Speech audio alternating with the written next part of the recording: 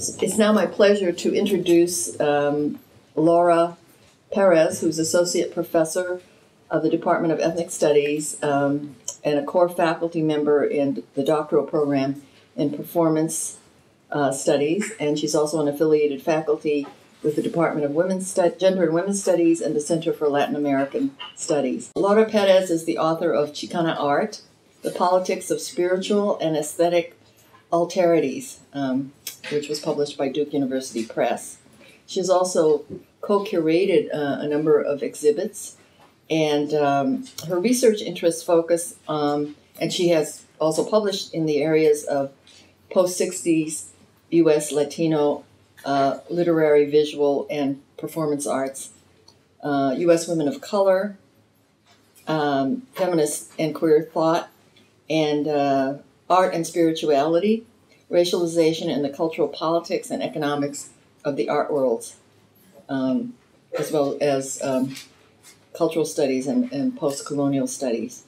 Um, so I'm happy to uh, welcome her, and she will um, introduce our guest speaker. Thank you. Welcome all of you, and especially to welcome our guest speaker, Professor Linda Martin Alcoff. Um, Professor Alcoff uh, is a Latina feminist philosopher. She holds all of her degrees in philosophy.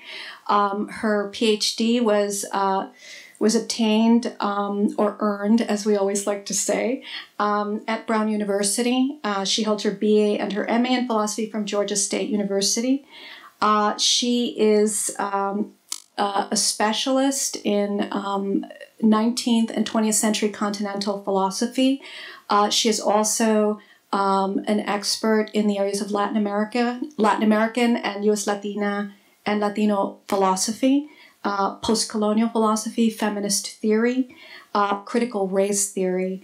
Um, she has uh, presented her work and published extensively, um, beginning in the 1980s and throughout the 90s and up until the very present. And I'd like to take just a few minutes to give you an idea of some of her work and give you a little bit more uh, details.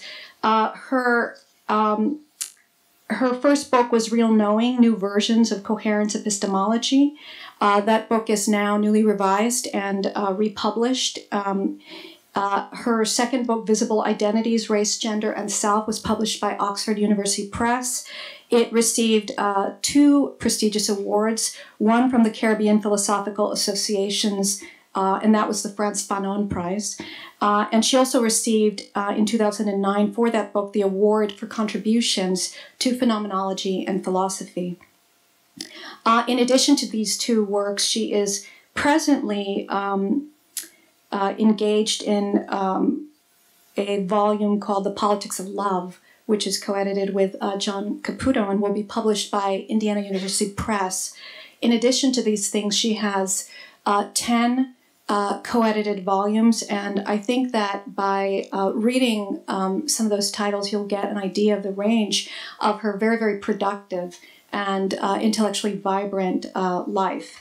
Um, the first anthology that she co-edited was Feminist Epistemologies. Um, the second, Epistemology, The Big Question. Uh, Thinking from the Underside of History, Enrique Dussel's uh, Philosophy of Liberation. Another volume was uh, Identities, Race, Class, Gender, and Nationality. Uh, another volume was Singing in the Fire Stories of Women in Philosophy. Um, the Blackwell Guide to Feminist Philosophy.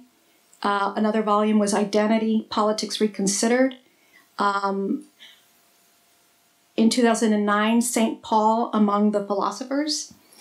Um, and then after that, Constructing the Nation, a Race and Nationalism reader, and uh, Feminism, Sexuality, and the Return of Religion. She serves on um, uh, 10 or 11 editorial boards, including that of Hypatia, the uh, Journal of Feminist Philosophy. Uh, she is also the president of the Eastern Division of the um, American Philosophical Association. Um, to give you an idea of some of the work, she presents extensively her work throughout the country and also internationally. Uh, to give you an idea of some of the things that she's actually been publishing very, very recently uh, in these last few years. Uh, one of those essays is called An Epistemology for the Next Revolution, that appears in a volume called Transmodernity, uh, the Journal of Peripheral Cultural Productions of the Luso Hispanic World.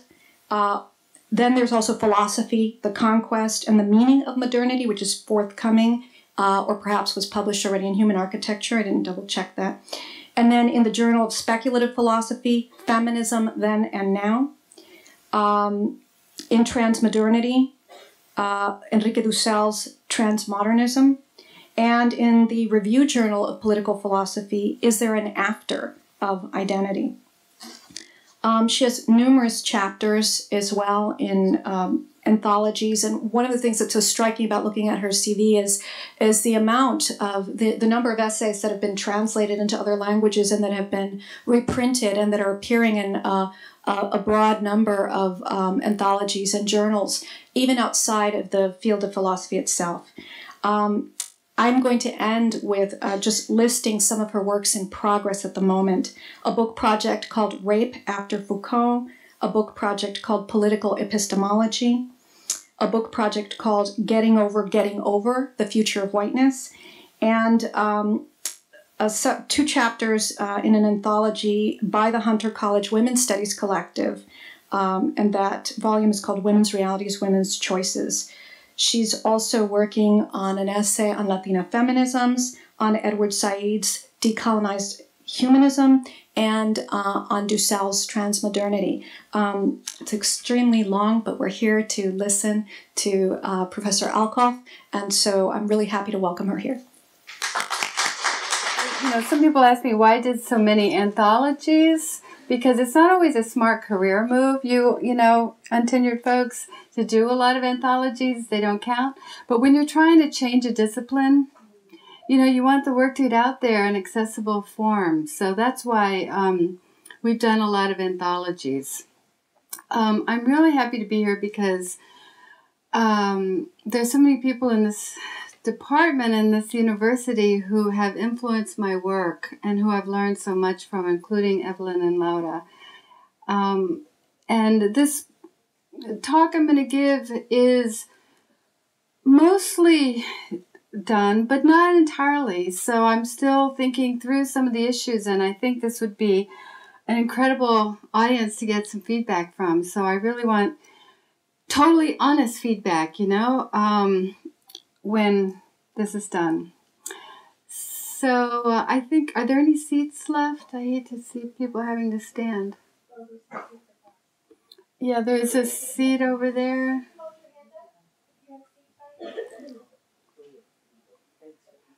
Yeah. Are there any other seats on the side? I know people don't like to sit up front because, you know, then you may have to get up and leave if you have something to go to. Don't worry about it. I don't care. Do what you have to get, do what you have to do.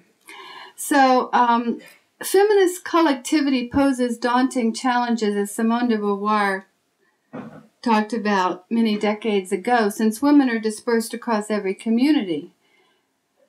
There can't be unity because there's no unified experience or treatment or ideational representation across the diverse contexts. The idea of, of a collectivity based on female identity it would be too abstract, too minimal to do effective political work, right? So, a number of recent theorists have argued that the category woman itself is too problematic to retain its utility for a collective feminist praxis. Gender identity, many argue, is a prison house of coercive performances, rigid boundaries, and identitarian logics the actual individual variability, and that's a variability that's physical and biological, as well as psychological and social. And the historical fluidity and open endedness of gender um, is closed shut by patriarchal systems. So, this defining of gender is what patriarchy is essentially about. So, as a result, Feminist political practice has been defined in increasingly generic and oppositional terms of critique and resistance to identity itself. or the negative or critical project of undoing gender, dismantling identities, and escaping cultural scripts. Well, that's what feminism means today in many places. One's gender has to be announced at Occupy Wall Street meetings, which I came to appreciate actually after trying to figure out what that was about. But um, and one can opt out of gender altogether with generic pronouns like they. Although feminist theory is in truth a hugely complex and contested discussion, when coming away from one of these political or academic spaces in the global north, one can get the impression that there's a uniformly accepted, theoretically correct position that defines feminism as the all purpose resistance to identity. The ubiquity of this portrayal of feminism as resistance to gender has garnered little resistance of its own. So, in the guise of producing an orientation to feminism that will avoid exclusions, that will allow variety and recognize fluidity, this generalized stance of resistance to gender identity has become a kind of new universal with little attempt at intersectional theorization. The question of this paper is whether this uniform take on gender resistance needs some decolonial work itself. If gender identities are in every case mediated by other vectors of identity, categories, and communities, changing their form, their degree of intensity, as well as their political effects, then we need to think through what the intersectional mediations of gender mean for our universal deconstructive politics. And I'm using deconstructive there in a loose sense. I'm not meaning the specific philosophical sense, just a loose sense. Gender identities, after all, are not merely elusive because of the elusiveness of substances, as philosophers would say, because we've mistakenly taken a social kind to be a natural kind, but because there's actual material diversity across contexts of gender formation. Whether our perceived gender identity is taken to place us on a pedestal or rendered us as the mule of the world, um, a revered and respected mother, or a mother held in open contempt, depends on mediations of intersecting systems of meaning and practice. So, I'm going to suggest in this talk that the intersectional nature of identities may challenge universally imposed agendas, bringing difference finally to the center of feminist theory. But we must be prepared to understand that varied forms of identity, such as sexual, ethnic, racial, national, and religious, may operate differently than gender identities or gender ideologies. So it's not just that the content of the identity scripts vary across cultural contexts, but the manner of identity formation or subject formation. Before we assume that all social identities operate in the same way, we need to look at see whether in fact they do. The genealogy of gender may have significant differences from the genealogy of other forms of social identity. If gender cannot stand alone, because its form is always the product of mediated processes, then we should reconsider whether we can theorize a universal response to gender, or a resistance to gender, or a solution to gender, while ignoring the hybrid nature of gender. Taking intersectionality seriously means that we cannot separate gender off from other social identities as having its own unique identitarian logic. So let me begin with the case of Anders Behring Breivik, whose attack, you may recall, on his fellow Norwegians in the summer of 2011 aimed at instigating a race based civil war that could conceivably bring down the multiculturalist, pluralist policies of his government.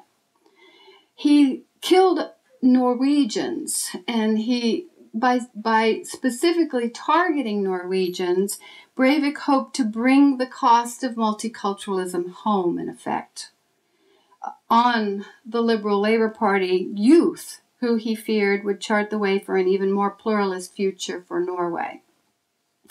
Norway has moved from a nearly homogeneous ethnic